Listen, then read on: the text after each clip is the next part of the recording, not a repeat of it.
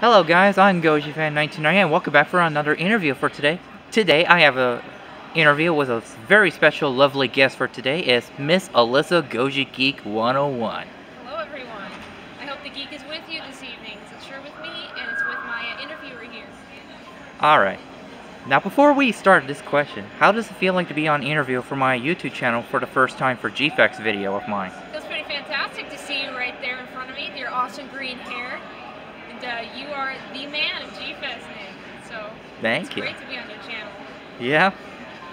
And Alyssa was more than just a Godzilla YouTuber as she is, wrote her own novel story of a Daughter of Darkness and much more, Yes, including her own music career. it's true.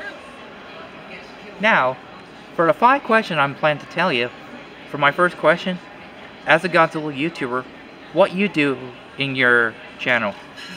What do I do? Um, so I do deep dive and analysis videos into the different characters, themes, and even certain scenes and moments in Godzilla films. I also do uh, Japan travel videos as a Godzilla fan since I'm stationed in Japan with a baby. And I do some uh, Godzilla music covers and interviews once in a while. So do a lot of things. Wow, that's a really good one. And for being in Japan, did you find any perfect location based on the movie, like in a refreshing building from the Return of Godzilla, where after Godzilla grabbed the train? I did see those things. I saw lots of buildings. I saw Toho Studios, and uh, recently I went to Izu Oshima, which is the island that Godzilla gets trapped in the Mount Mihara volcano, which has been my favorite trip so far. That's good. Now for my number two question, what do you become of a music career? So next year I want to go to college to become a film composer if I can. I'm going to start with a music production degree and work my way up from there with uh, digital software, as I've been doing for the past five years of my life. Wow. Yeah. Well, I hope you have a have a blast on college if you could try. Friends always support one another. Very true. You do a great job of that. I'm very grateful for that. All right, for my number three, when did you become a novel writer?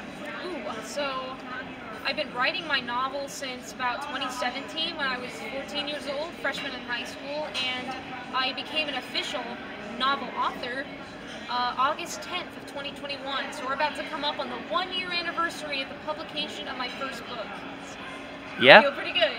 and never forget to celebrate the first anniversary of that first book release date. Absolutely.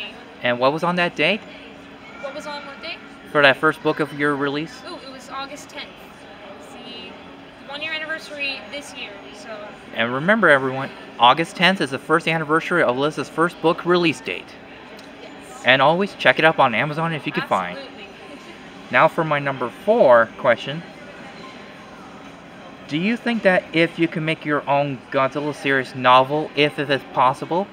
Oh, I absolutely would. So what I'm trying to do now is write original books that people like, and then maybe they'll like the thought of me doing Godzilla too, and I'll have built a reputation by then for writing good stuff. So yeah, that's the plan, and maybe a licensed Godzilla book. And do you think you might do the same thing like Marc Cerasini did for his own Godzilla series, like uh, Godzilla 2000, Return, and the Space Monsters? Possibly.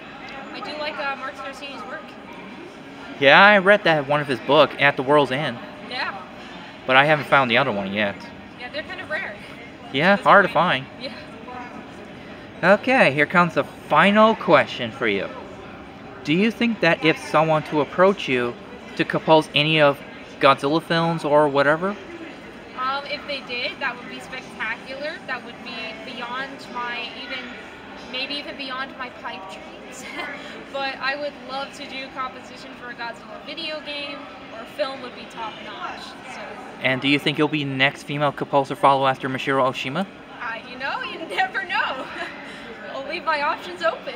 Well, as someone said, time will always tell. Time will tell, that's for sure. Well, so how did you feel like it to be on my interview channel today?